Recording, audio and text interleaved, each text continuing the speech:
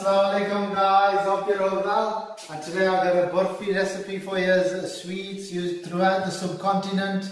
Please stay with me guys and I'll get straight into it. Okay guys, I'm going to make a start so I'm going to need one cup of desi ghee. And I'm going to put it on a low heat and let it melt. Give this a mix and as soon as it's melted, add one cup of milk Whole milk that is. It's on a very low heat and I'm going to give it a mix. Once I've mixed it, I'm going to add 3 cups of milk powder.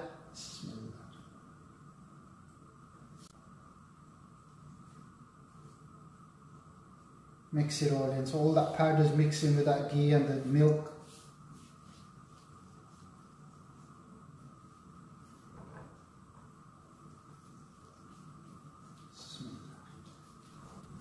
So you'll give it a good mix. Once you've mixed it, you keep on mixing it and cook it on a low heat for about five minutes.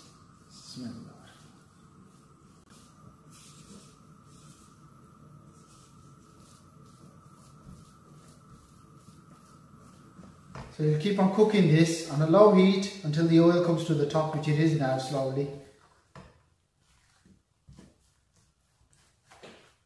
Once the oil comes to the top, Put some green cardamoms in, about three green cardamoms crushed very fine.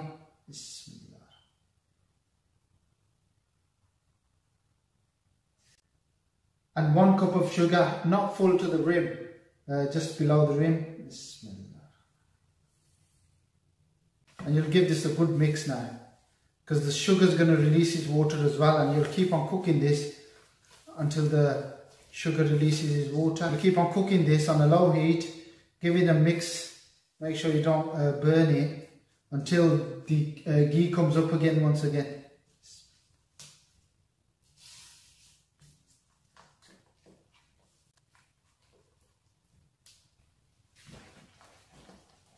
Okay guys, I've been cooking it for a further 10 minutes and the ghee is starting to come up to the top now and I've been mixing it all the way through and I'm going to put the uh, in now. So these are pistachios crushed fine. Add as much as you like. Bismillah. Spread them out. And then give that a good mix.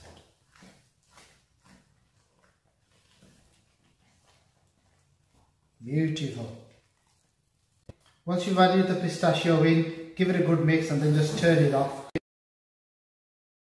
We're going to pour it into the tray now. Then I'm going to get, some uh, ghee, melt it down and then just brush it on the tray, on the sides. And you can notice I've got a saucer at one end of the tray because the tray is a bit big. So the ghee, the will end up about here and I'm going to let it set then. But if you've got a smaller tray, that's better. But if you want to make a big uh, tray, that's up to yourself as well. So you just brush the ghee on the bottoms. This is so you don't stick to the tray. Okay guys, before it starts uh, setting, I'm going to start pouring it in. And I'm going to use this spoon to keep it that side.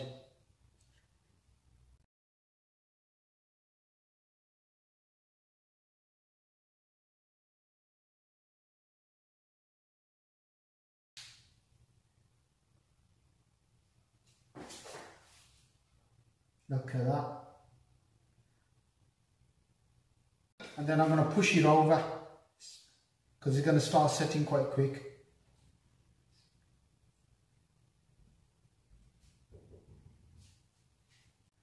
Once you pushed it over, before it sets, you're going to spread some pistachio, cashew nuts, almonds, whatever you require, dried fruits. Just, just spread it over.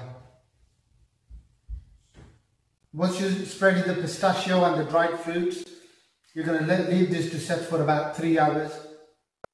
But to get it to this stage, it only takes about 10, 12 minutes. From when I put the first ghee in, right up to the at this stage, it takes about 12 minutes. So I'm going to let this set now. MashaAllah guys, the burfi is ready. And I'm just going to cut it up and then I'll show you. You can cut it into any shape you like. I'm just going to cut it to the traditional shape, squares. This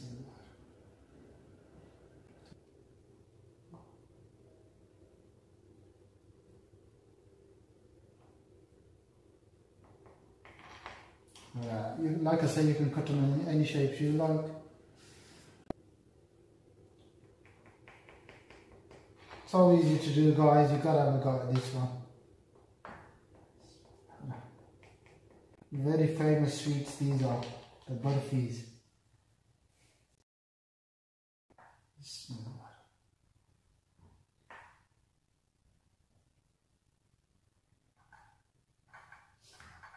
You keep them in the fridge for overnight and they'll go a bit more firmer. MashaAllah guys, so easy to do these sweets, uh, also known as mithai, burfi, uh, really easy to do, so do have a go guys. Turned out absolutely beautiful. Look at them.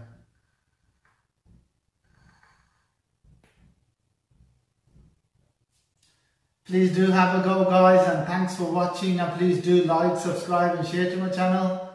Until next time, Assalamu alaikum.